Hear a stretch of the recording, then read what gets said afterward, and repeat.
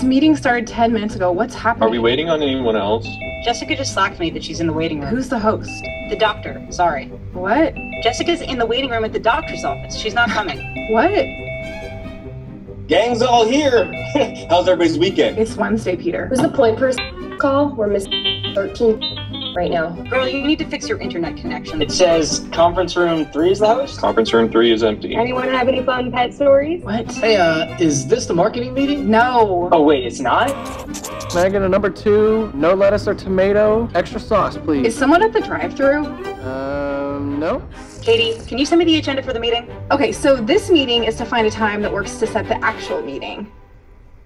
Um, Now, on the weekdays, Thursday's just on Thursday. Why- Okay, why don't we just call it? We're gonna call it. Sorry about that. I Had some technical difficulties. Should we get started?